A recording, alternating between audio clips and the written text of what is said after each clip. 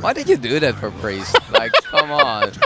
Well, I was writing all the like, okay, what does Arthas do It's really like jacked uh, to do to a priest or a mage? Okay. And I just cackled my like when I when I wrote the set your hero's health to one. I didn't know if any of these were fair. I didn't know they were doable. I was like, I don't know, give you hundred armor or whatever. And then uh, uh, the missions team, uh, which is uh, Dave Kosak and um Paul Nguyen, Mm-hmm. uh, like actually uh, worked a ton on these to make them actually like like not horrible. But we kept the priest one, which was just a joke because it was so unique. Oh, yeah. Uh, and I felt like it. Uh, we wanted the one that was a little easier, just in case people couldn't do these other ones. But that makes it also really, like, really cool. Like, everyone is a like complete unique Yep. experience.